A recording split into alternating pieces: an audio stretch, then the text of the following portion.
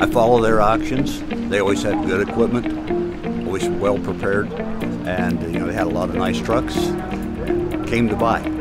Trusted companies draw a big crowd.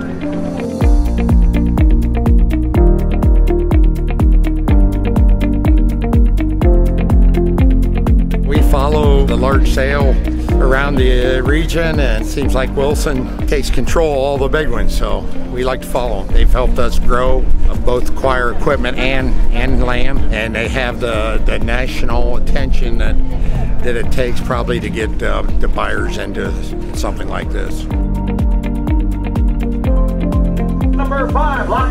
The sales on here. Get it up to second over to go. I'm gonna get four sales on here. I'll deliver two hundred dollars you. I get five and a half, six hundred twenty, Rod. I get two fifteen and twenty. I get two fifteen and twenty. I get thousand. You got it. Two forty down to forty five. I get two forty down to five. Bitch spotter out. I get two forty six.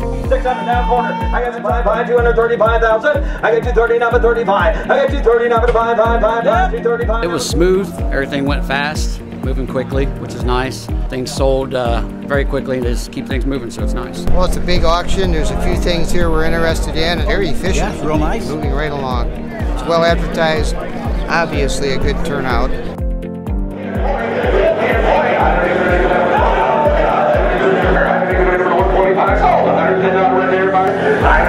Them knowing the um, knowing the market, whether it's land or equipment, either one, they just do seem to handle the auction well, and everything goes smooth.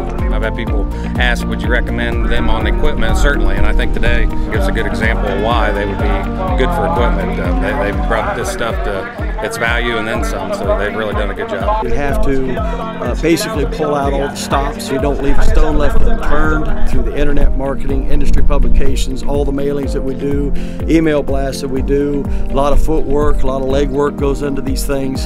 As an auction firm, is you got to take it personally, you know, yourself. And uh, we realize these are not easy decisions uh, for people to make, blood, sweat, and tears. When it comes to working with Wilson National Real Estate, I, I understand that, you know, a lot of times we'll deal with you selling your farm or, or your land or your house or your home or, or your equipment and, and your lifestyle and your, and your well-being and what's made you you. And, and we're here to take care of that. We're here to make sure that you get the most out of what you have worked your whole entire life to build and that you're able to give the most to your family back.